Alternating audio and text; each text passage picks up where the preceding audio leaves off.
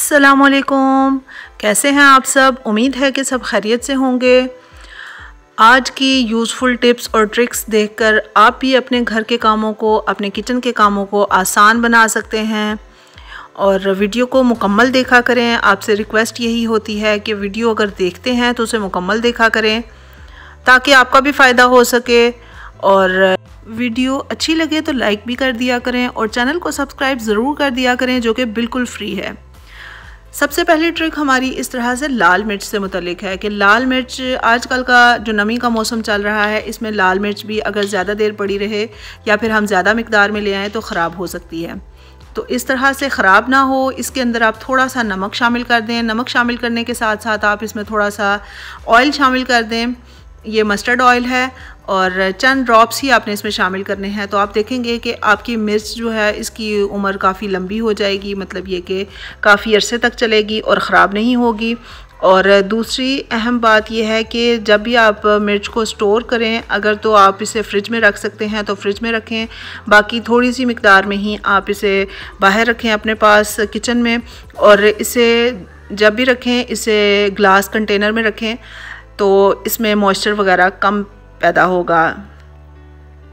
दूसरी ट्रिक भी बहुत ही अमेजिंग है छोटी सी ट्रिक है लेकिन आ, काम की है इसलिए मैंने सोचा कि मैं आपके साथ शेयर करूँ। आजकल हम इस तरह के लाइटर्स वगैरह इस्तेमाल करते हैं किचन में आ, गैस स्टोव को ऑन करने के लिए। तो इसको ज़ाहिर सी बात है, ये गंदा भी हो जाता है तो इसको भी साफ़ रखना बहुत ज़रूरी होता है क्योंकि इसके ऊपर ही हमारे हाथ लगते रहते हैं तरह तरह के और फिर इन्हीं हाथों को हमने खाना पकाने के दौरान भी इस्तेमाल करना होता है।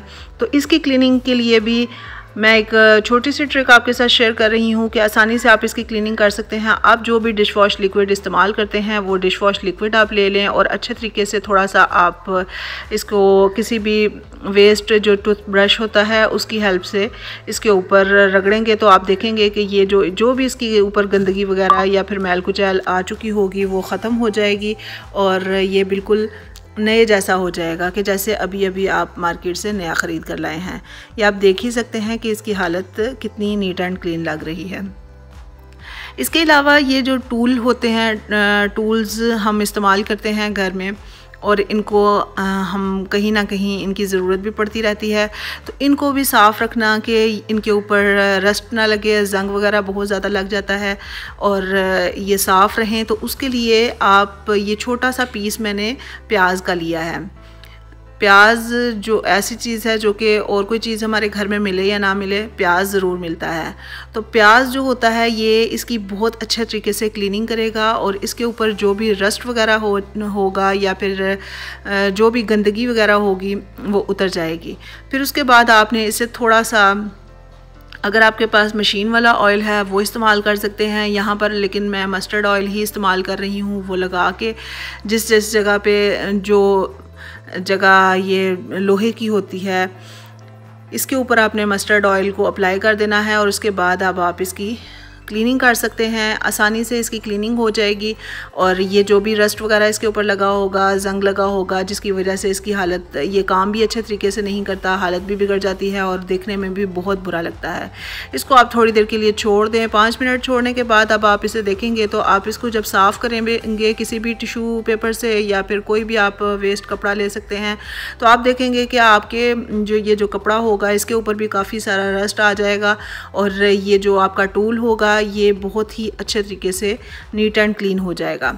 लेकिन ये कि प्याज से स्क्रब करते हुए आपको थोड़ा सा टाइम तो देना पड़ेगा। दो से तीन मिनट आप इसे रब करेंगे तो फिर ही आपको ये फ़ायदा नज़र आएगा। और अगर ये ज़्यादा गंदा हो तो फिर आप इस ट्रिक को बार बार अप्लाई करें। तो आपको इसका बहुत अच्छा रिज़ल्ट मिलेगा। ये अब आप देख सकते हैं कि कितना ज़्यादा ये टिश्यू पेपर कितना गंदा हो चुका है और यही बता रहा है कि ये जो हमारा टूल था, ये कितना मैला था और कितना रस्टी था। मिर्चों से मुतलिक एक और ट्रिक आपके साथ शेयर कर रही हूँ कि लाल मिर्च हर हांडी में इस्तेमाल होती है। और हम क्या करते हैं? कभी कभी हमारे पास चम्मच अवेलेबल नहीं होता या फिर हम बहुत जल्दी में होते हैं तो हम ऐसे ही अंदाजे से हाथ में ले लेके और मिर्चों को हांडी में डाल देते हैं या फिर जिस भी चीज़ में डालनी होती है। और इस चीज़ का अंदाज़ा किए बगैर कि ये बाद में हमारे हाथों में जलन पैदा कर सकती है और जब हम इसे लगा लेते हैं, फिर हाथों में जलन पैदा होना शुरू हो जाती है। तो ऐसा ना हो, इसके लिए आपने पहले हाथों को अच्छे तरीके से किसी भी हैंड वॉश से धो लेना है और उसके बाद आप थोड़ा सा दूध ले लें। और ये दूध जो है, ये अब आप अपने हाथों पे अप्लाई करें। और जब आप हाथों पे अप्लाई करेंगे तो आपको खुद ही ठंडक का एहसास होना शुरू हो जाएगा। और आप देखेंगे कि हाथों के ऊपर अगर जो थोड़ी बहुत जलन होगी, वो भी खुद ब खुद रिमूव हो जाएगी। और अगर रिमूव ना हो तो आप इस ट्रिक को दो से तीन दफ़ा अप्लाई कर सकते हैं। और फिर उसके बाद आप अपने, थोड़ी देर के बाद आप दोबारा से हाथों को धो लें। और फिर आप अपने कामों को जारी रख सकते हैं। दो मिनट के लिए तकरीबन इसे रेस्ट दी थी मैंने और उसके बाद इसे वॉश कर लिया था। उम्मीद है कि सारी वीडियो आपको काम की लगी होगी। वीडियो अच्छी लगी हो तो लाइक ज़रूर कीजिएगा। Thank you Allah